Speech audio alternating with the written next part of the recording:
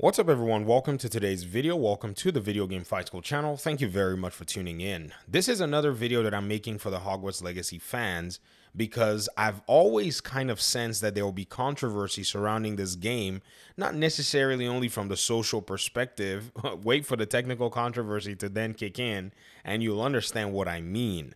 Now regarding this, there is some level of a social side of the perception of Hogwarts Legacy right now that a lot of people seem to be maybe somewhat bashing the game. Some people seem to not be satisfied.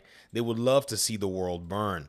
In fact, Podcast Now, fellow content creator in this space, posted that some users had identified with their tags on Steam some of the different categorizations of Hogwarts Legacy that are just not necessarily what you would have expected and categorically false but I wanted to encourage Hogwarts Legacy fans to do one thing in order for them to be able to enjoy or at least get a sense of the product that they're about to purchase. And that is to stay focused on the game itself. Look very deeply, assess, evaluate, and continue to engage with the content and the marketing in order for you to be able to make a sound decision so that it's not one of trying to maybe one up somebody, but one where you're going to buy a product that you actually enjoy.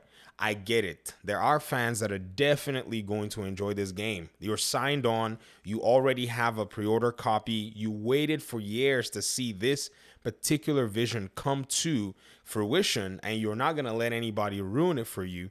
But then there are also some of you that still have questions, and somewhere, somehow, this is probably providing some kind of a smoke screen. This entire fiasco surrounding the game, where, you know, people are in their own little bubble talking in different directions, but somehow we're missing the overall picture if we don't necessarily pay attention to what needs to be paid attention to. You see, one thing about video game assessment is that you're very good at cutting through the BS in order for you to be able to make sound decisions about a video game, or at least, even if you've already decided, create a perception that's going to give you the very best experience overall. Especially in a world where communication right now is so easy and everything can disseminate information so fast, it is actually quite important for that to happen. I'll give you guys a few reasons why I'm actually going ahead to talk about this because I was at the forefront of a video game that was very polarizing. In fact, I thought that was probably going to be the most polarizing video game we were going to see for 2022, and I was correct, and that was Gotham Knights. I was able to cut through a lot of the BS surrounding that game. I covered the game for a long time. I walked through every single thing and looked at how the developers were revealing the game. By the time the game came out, I knew exactly what it was. And many of you in the community knew exactly what the game was and how you wanted to engage with the game. For the most part, a lot of folk on the internet did not really know and went in in terms of the conversation with an entirely different perspective in terms of how they would have perceived the game to be. Even the reviewers themselves were lacking in the way they perceived the game, basically mentioning Arkham and comparing it to Arkham in their different reviews and different coverage that it was so weird to see a lot of journalists on the forefront of not even understanding what the game was about. Now, I know this is a whole separate analogy, a different game, different circumstance, but all of that took away from exactly the crux of what that game was. And I see that same danger here with Hogwarts Legacy because these things seem to want to detract from a lot of what this particular audience needs, what the marketing team needs to continue to do, and what the developers actually have to celebrate. And I have to say this I feel very, very bad for developers today. Yes, there are some developers that have probably not helped their own situation. And yes, I can understand gamers are an interesting bunch. As a YouTuber here, you get comments piled upon your channel if people don't necessarily agree with you. But at the end of the day, developers just want to do their jobs. But left and right, they're getting hounded, getting attacked. You know, their work is kind of a reflection of their craftsmanship. And as artists, you know, usually are, I've noticed that for them, a lot of their work is somewhat of an extension of themselves.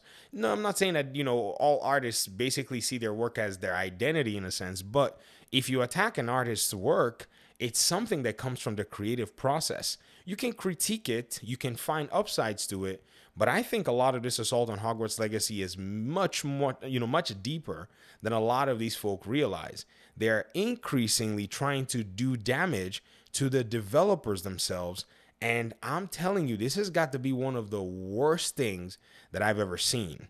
But when you look at all of that, I still want to go ahead and maintain my position to the fans and say, focus on what is more important on Hogwarts Legacy. Look at mechanics. Take time to read articles. Evaluate what versions you want to buy, how and when you want to buy it, all of those things. Enjoy the process of the game getting released. If you're hyped and you're you know expectant of playing the game make that a priority for you in a sense. Let that be something that you pretty much are you know expending your energy on and do not let this drama come in any way to come and you know distract you. Because there are two sides to it. The drama could poison your perception or it could actually remove your focus from maybe something that might present a red flag for you that you don't see.